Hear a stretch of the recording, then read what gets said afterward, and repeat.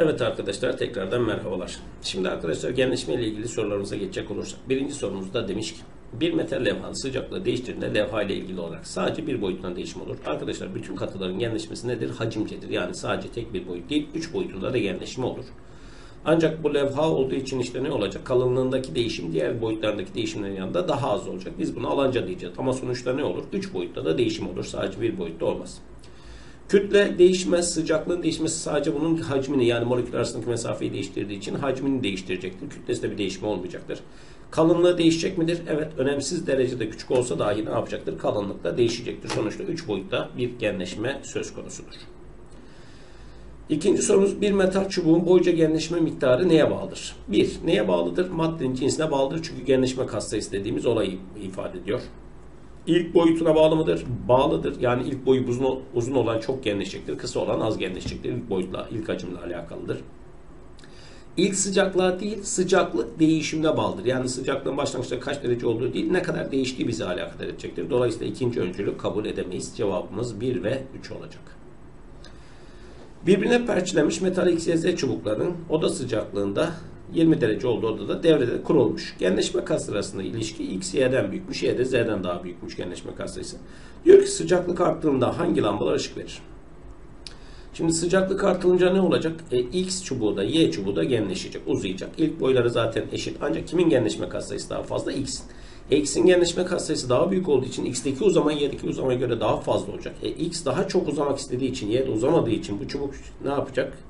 Bu metal çiftimiz aşağı doğru dönecek. Dolayısıyla anahtar görevi görmeyecek. Yani devre kapanmayacak ve lamba ne yapmayacak? Yanmayacak.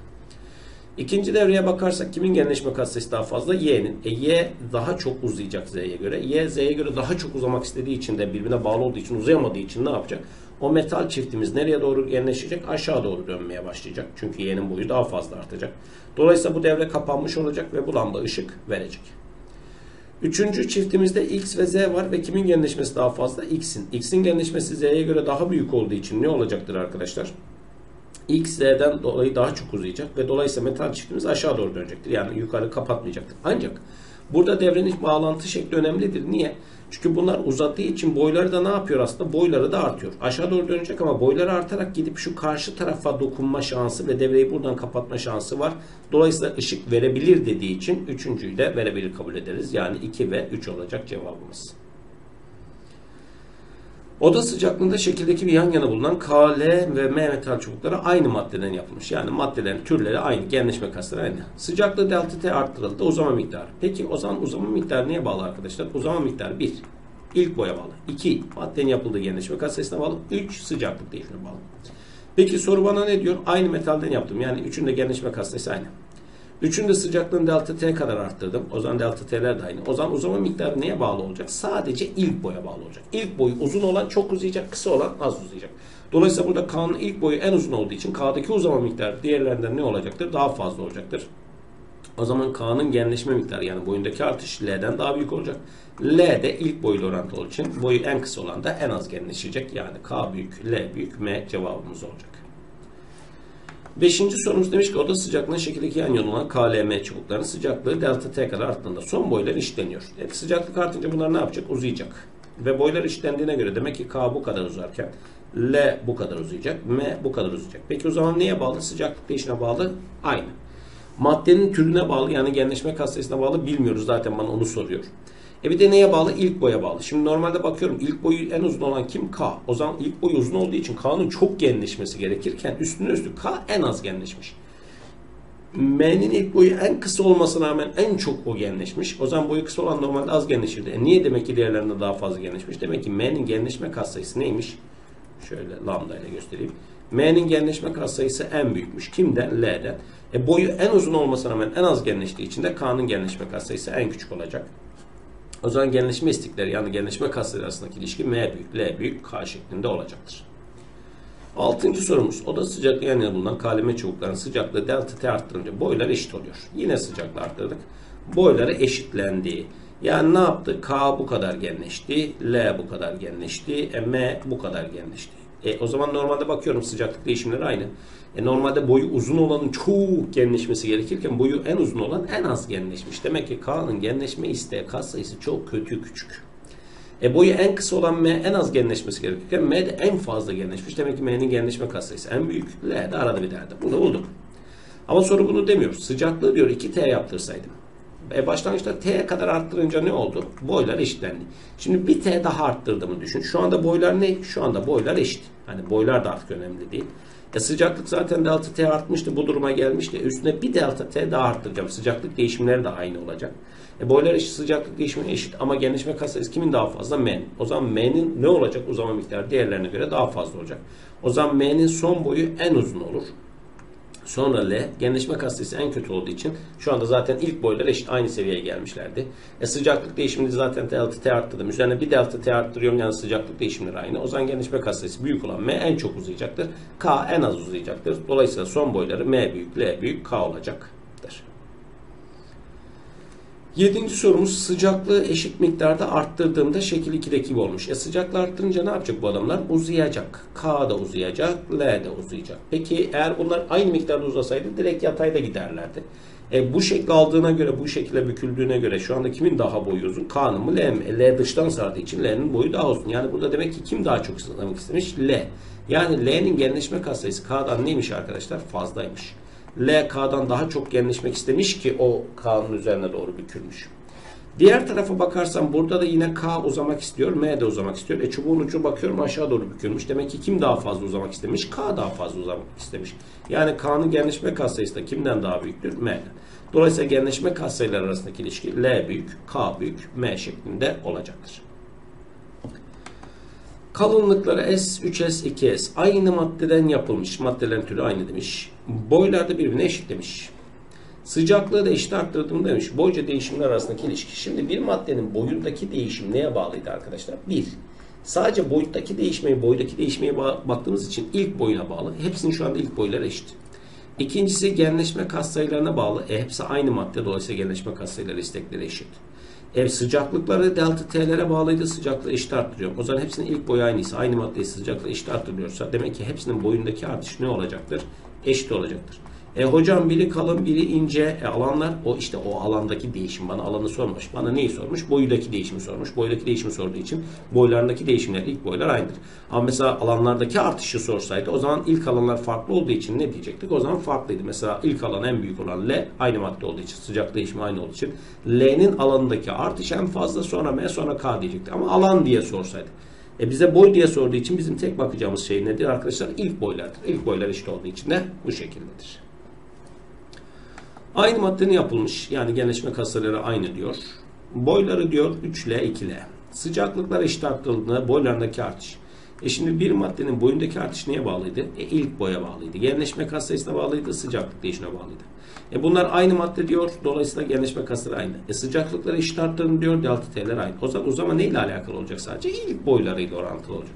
X'in ilk boyu 3 olduğu için bu adam 3 ile orantılı bir uzamayı gerçekleştirecek. Bunun ilk boyu 2 olduğu için bu 2 ile orantılı bir uzamayı gerçekleştirecek. Yani boylarındaki artışların oranı ne olacaktır? 3 bölü 2 olacaktır. O şekildeki ikisi çubukları aynı maddeden yapılmış. Yani ne diyor? Genleşme kasları aynı diyor. Boyların eşit olmasını istiyorum. Peki. X çubuğunun sıcak eşit miktar arttırırsak. Şimdi sıcaklığı arttırırsam bunlar uzar. E, uzama neye bağlı? İlk boya bağlı. Genleşme kat sayısına bağlı. Sıcaklık değişime bağlı. Peki sıcaklıkları eşit arttırdım diyor.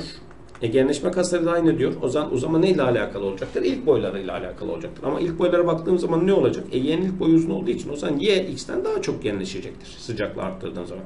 E zaten y x'ten daha uzundu. Daha çok genleşerek aynı boya gelme şansı yok. X'i ısıtsam x uzasa, y'yi soğutsam y kısalsa eşitlenebilir mi? Olabilir, eşitlenebilir. Eşit miktarda azalsam sıcaklığı. Şimdi sıcaklığı eşit miktarda azaltırsak da arkadaşlar şuna dikkat edin. E hocam Şimdi aynı madde lambdalar aynı. Delta t'ler de aynı. Sıcaklığı eşit azalttım. O zaman uzama veya kısalma ilk boyla orantılı. E şimdi y'nin ilk boyu uzun. İlk boyu uzun olan ne olur? İlk boyu uzun olan çok kısalır. E kısa olan ne yapar? Az kısalır. E o zaman uzun olan daha çok kısalıp bu kısaya eşitlenme yani boylara eşitlenme şansı var mıdır derseniz hayır yoktur. Niye? Olayı tersten düşündüğün zaman sağlamasını yapamazsın. Nasıl sağlamasını yapamazsın? Şöyle. Mesela ben bunu soğuttum. Boyu kısaldı. Bu da kısaldı. Hadi bunun ilk boyu uzun olduğu için bu daha çok kısalmış olsun. Ve dediniz ki boylar eşitlendi. Tamam amenna. Boylar eşitlendi. Buraya kadar bir sıkıntı yok. O zaman filmi geri sar deseydim. Yani şu anda boylar eşit mi? Boylar eşit. Aynı madde mi? Evet. Sıcaklığı aynı miktarda arttır deseydim o zaman ilk durumuna geri dönmesi lazımdı. Ama senin mantığına göre ne oldu? E şimdi boylar eşit. E aynı madde e sıcaklık eşit arttı. O zaman uzamalar eşit olacaktır. O zaman aynı boya geri dönme şansı var mıdır? Hayır yoktur. Yani soğuttuğun zaman bunların boyları eşitlenir mi? Eşitlenmez. Şöyle düşün. Başka bir varsayımdan bahsedelim. Mesela bunun ilk boyuna bir değer verdin. Ne dedin? 10 dedin. Bunun ilk boyuna ne dedin? İşte bunun ilk boyuna da 15 dedim mesela. Aynı madde olduğu için ve sıcak eşit arttığı için ilk boylarla orantılı kısalacaklardır. Yani bunun boyu 1 azalırken bunun boyu ne yapacaktır? 1,5 azalacaktır. Dolayısıyla aradaki mesafe de küçülecektir. Mesela bunun boyu 2 azalıyorsa hani 5'te biri kadar orada bunun boyu 3 azalacaktır.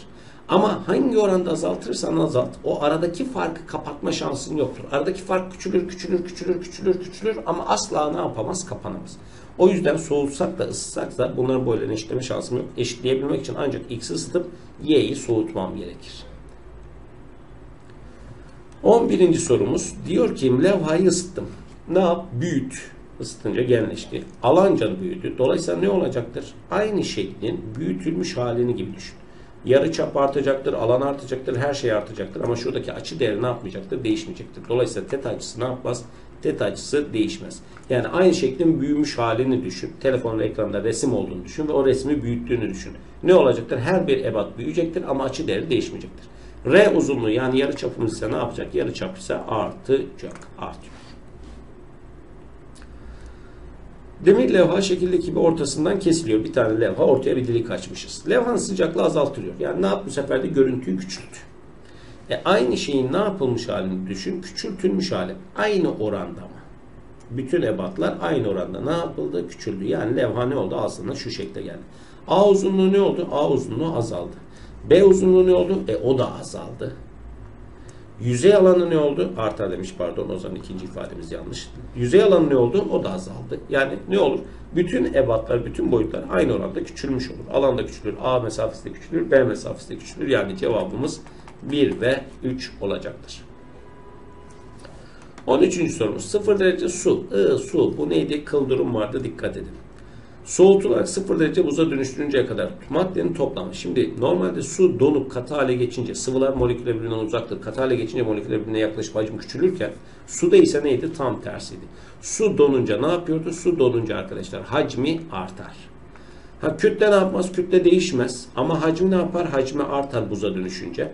E hacmi arttığı için de e, öz kütle kütle böyle hacim olduğu için kütle değişmiyor ama donma sırasında hacim arttığı için öz kütlesi ne yapacak? Azalacaktır. Zaten buzun öz kütlesi nedir? Buzun öz kütlesi sudan küçüktür çünkü suyun üzerine bir parça buz attığın zaman buz orada ne yapar? Yüzer. Öz kütlesi küçük olduğu için yüzer. Dolayısıyla öz kütlesi ne yapmıştır? Azalmıştır. Hangi yargılar doğrudur? İkinci ve üçüncü yargılarımız nedir arkadaşlar? Doğrudur. 14. Yapılan Grams halkası deneyinde metal küre halkadan şekil geçemiyor. Yani orada bir metal işte halkamız var. içinde bir küre var. Küre oradan geçemiyor. Halkadan geçebilmesini istiyorum. Yalnız küreyi ısıtsam. E zaten küre oradan geçemiyor. Küreyi ısıtırsam küre sadece büyür. E halka o geçeceği halka aynı kalır ama küre daha büyük olduğu için hayatta geçemez. Küre ve halka beraber ısıtılmalıdır. Şimdi bu beraber ısıttığımız zaman ne olacaktır? Aynı tür maddenin yapıldığı için arkadaşlar ikisinin de genleşmesi aynı oranda olacaktır. Dolayısıyla o zaman ikisini beraber ısıtırsam ne yapacak? Geçme şansı gene olmayacaktır. Küreyi soğutup halkayı ısıtırsam küreyi küçültürüm, halkayı büyütürüm. Dolayısıyla ancak bu şekilde ne yapabilir? Geçme şansı vardır. Cevabımız yalnız 3 olacaktır. Hangisi suyu donduğuna hacmin büyümesine örnek verebiliriz? Normalde bütün sıvılar donunca hacmi küçülürken bizim su donduğu zaman hacmi büyüyordu. Hacmi büyüdüğü için de öz kütlesi ne yapıyordu? Azalıyordu. Buzun öz kütlesi sudan daha küçüktü. Buzluğa konan su şişesinin patlaması. Evet sonuçta sen su şişesini yazın ne yaparsın? Mesela ağzına kadar şişeyi suyla doldurursan, ağzını sıkı sıkı kapatıp buzluğa atarsan o şişe donduğu anda içindeki suyun hacmi büyüyeceği için o şişeyi ne yapacaktır? Patlatacaktır. Kışın su sayaçlarının patlaması aynı olay. Kışın ne olacak? Hava sıcaklığı sıfırın altına düşünce o su sayaçlarının içindeki su donacak. E donunca hacmi büyüyecek. Hacmi büyüyünce oradaki su sayacını patlatacak. Göllerin önce yüzeyden donması. Şimdi arkadaşlar göllerin önce yüzeyden donması biraz ne ile alakalıdır? Hava sıcaklığı ile alakalıdır. Sonuçta suyun öz kütlesinin en büyük olduğu yerler nedir? Artı 4 derecedir. Dolayısıyla göllerin tabanı her zaman artı 4 dereceye yakın bir sıcaklıktır. Yani 0 derecenin altına düşme şansı yoktur. Ha, dışarıda hava ne oldu? Dışarıdaki hava 0 derecenin altına düştü. Hava sıcaklığı ne yaptı? Atıyorum eksi 10 dereceye düştü. E ne olacak? O zaman eksi 10 dereceyle temas eden üstteki gölün üstündeki su olduğu için ilk önce onlar ısı alışverişinde bulacak ve ilk onlar donacaktır. Dolayısıyla bu hani donunca hacmin artmasıyla alakalı değildir. Ama işte donan yerinde direkt yukarı doğru çıkması deseydi o alakalıydı. Buzun suda yüzmesi, evet buzun suda yüzmesinin sebebi ne olunca hacmi artıyor, öz kütlesi azalıyor. Öz kütlesi sudan daha küçük bir değere düşüyor. Dolayısıyla o yüzden de ne yapıyor? Yüzüyor. Cevabımız 1, 2 ve 4 olacaktır. Düşey kes şekildeki olan kapta su ve buz dengededir. Buzun bir kısmı eritildiği zaman. Şimdi arkadaşlar buz eriyince ne olur? Normalde bütün katılar eriyince hacmi artarken buz eriyince hacmi azalır. E, buz eridiği zaman hacmi azaldığı için o zaman eriyen buz az önceki kapladığı kadar büyük bir yer ne yapamayacak? Kaplayamayacak. O zaman buzun biraz da eridiği zaman az önce şu kadar yer kaplayan o buz biraz sonra daha az yer kaplayacak. Hacmi küçüldüğü için dolayısıyla oradaki su yüksekliği haşımız ne yapar? Haşımız azalır. Suyun kütlesi artar. E, buz eriyince suya dönüşüyor. Dolayısıyla kaptaki buz miktarı azalırken su miktarı kütlesi artacaktır. Doğrudur. H değişmez. Hayır. Buz eriyince hacmi azaldığı için H orada ne yapacaktır? Azalacaktır. Çünkü az önce tamamı bu suyun içinde bir yer kaplarken eriyince daha az hacimde suya dönüşmüş olacak. O yüzden H'ımız azalıyor.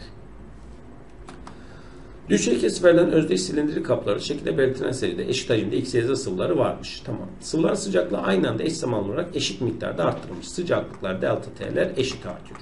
Okey. Yükseklikler Hx büyük, Hc büyük, Hc. Genleşme kasları arasındaki ilişki. Şimdi şöyle düşünün. Aynı cins sıvılar olsalardı bunlar. Ne olurdu? Hacimdeki artış neye bağlıydı? İlk hacimlerine bağlıydı. Başka genleşme kaslarına bağlıydı. Başka sıcaklık değişimine bağlıydı. Dolayısıyla burada sıcaklık değişimleri aynı ve kabul ettiğimiz için delta T'ler işin içinden çıkar. Delta T'ler hepsinde zaten aynı. Peki bu hacim artışları neyle orantılıydı? İlk hacimleriyle orantılıydı. Ama mesela bunlar aynı cins olduğunu kabul edelim. Aynı cins olduğunu kabul edersem işte buranın taban alanı 3S olsun. Burası mesela 2S olsun. Burası S olsun. Fark eder mi? Fark etmez. Sebep Mesela bu adamın o zaman ilk hacmi 3V ise bu adamın ilk hacmi 2V, bu adamın ilk hacmi V. Aynı cins olduklarını kabul ettim arkadaşlar. E, aynı cins olduğunu kabul etseydim, sıcaklık değişimlerini de aynı arttırsaydım ne olurdu? İlk hacimleri de orantılı olurdu. Yani bu 3 delta V hacmi artardı. Bu 2 ile orantılı bir hacim artışı gösterirdi. Bu 1 ile orantılı hacim artışı gösterirdi. Ama o 1 ile orantılı hacim artışı 1 eslik tabanda yükseldiği için ne kadar yükselirdi? Atıyorum H kadar yükselirdi. E 2 delta V 2 eslik tabanda yükseldiği için o zaman mecburen bu da H yükselirdi.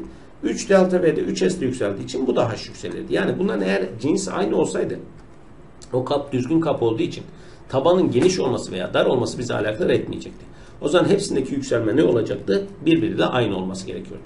Ama adam bana ne demiş? Hayır arkadaşım demiş. X'te en fazla yükselme oldu. Niye? E demek ki ilk hacmi V2 ve 3V dediysem e bu delta V 2 delta V bu adam 3 delta V değil. 3 delta V'den daha fazla artmalı ki yüksekliği diğerlerinden büyük olsun. E niye o zaman ilk hacmine oranla daha fazla artmış? Demek ki genleşme katsayısı daha büyükmüş. Demek ki ilk sıvısının genleşme katsayısı diğerlerinden büyük. Sonra ne gelecek? Sonra Y gelecek. E genleşme katsayısı en küçük olan da kim olacak? Z olacak. Dolayısıyla X, Y, Z sıvıların genleşme katsayısı arasındaki ilişki X büyük, Y büyük, Z şeklinde olacaktır. Evet arkadaşlar sorularımızı burada tamamlamış olduk. Bir sonraki dersimizde görüşmek üzere. Kendinize iyi bakın.